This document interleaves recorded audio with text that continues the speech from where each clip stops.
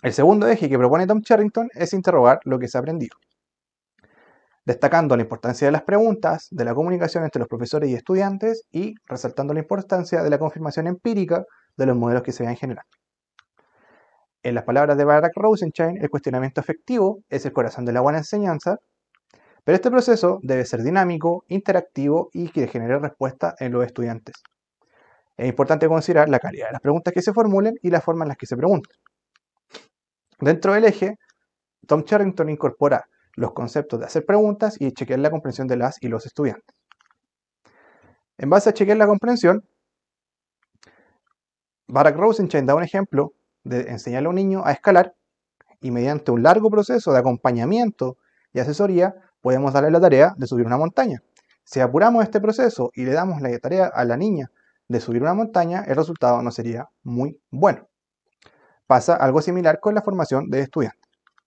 Entonces, tres errores muy comunes a la hora de implementar el Check for Understanding o CFU que propone el autor es la generación de pocas preguntas y de forma voluntaria, el preguntar al curso si es que hay alguna pregunta y si es que no lo hubiera, asumir que entendieron y repetir los puntos importantes de un contenido sin hacer un chequeo mediante el uso de preguntas. ¿Por qué es importante chequear la comprensión? En un estudio de los años 70, en el cual se comparaban los, logros académicos y las características de los estudiantes y los procesos que se generaban en el aula, se identificó que los profesores que realizaban preguntas más relevantes tendían a recibir respuestas más relevantes de los estudiantes. ¿Qué consejo nos dan los autores para chequear la comprensión? El de dar la tarea a los estudiantes de resumir la clase hasta el momento, el repetir instrucciones o procedimientos, el dar opiniones sobre si están de acuerdo o en desacuerdo con las respuestas de algún compañero o la generación de preguntas. La generación de preguntas es una actividad que se hace y se utiliza o habitualmente al monitorear los esquemas en clase, observando que los modelos de los estudiantes, como está en la representación en la pantalla, no son iguales entre sí ni entre los profesores. Es importante hacer preguntas ya que nos permite identificar cómo realmente estos estudiantes aprenden y los procesos cognitivos que estos vengan asociados.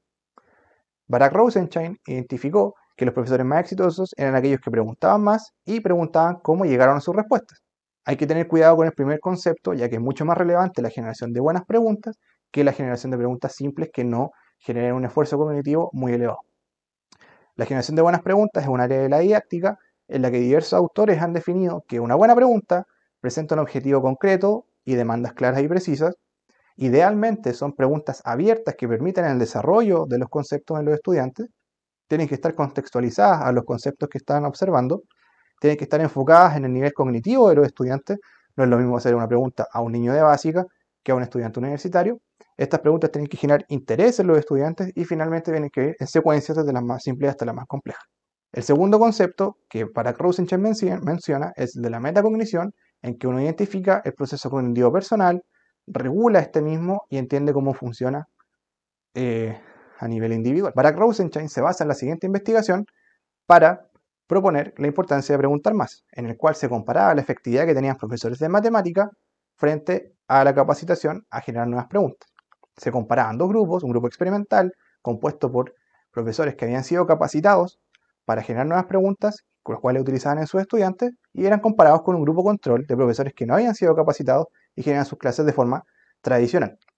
Cabe destacar que el uso de grupos controles es algo que ya está descontinuado en didáctica por razones éticas. ¿Qué fue lo que encontraron?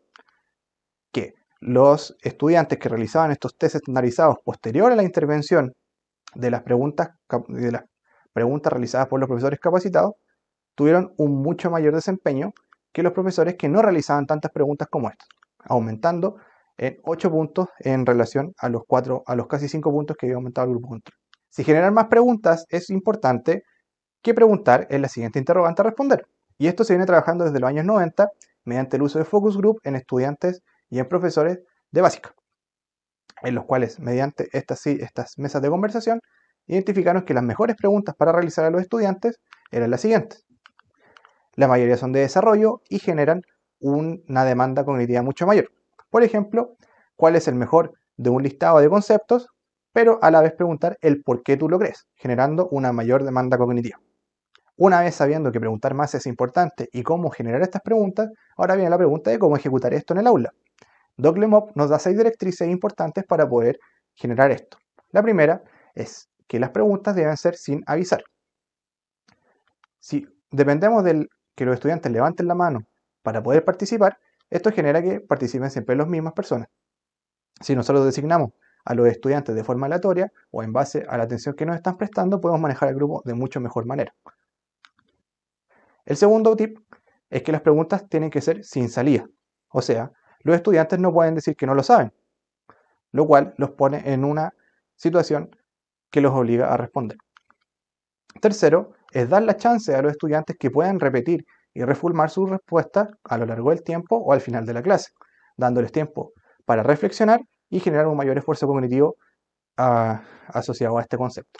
El cuarto tip es hacer que las preguntas sean desarrolladas en pareja o en equipo y que finalmente sean compartidas, lo que hace que estos estudiantes puedan después formular preguntas de mayor calidad, una vez realizadas al aula o al profesor. El quinto punto es que las respuestas deben ser al unísono para evitar que los estudiantes se puedan copiar entre sí. Algunas estrategias bastante interesantes son herramientas eh, virtuales como Kahoot que nos permiten responder cosas a nivel de tiempo real. Y finalmente es importante explorar los esquemas que vayan generando los estudiantes.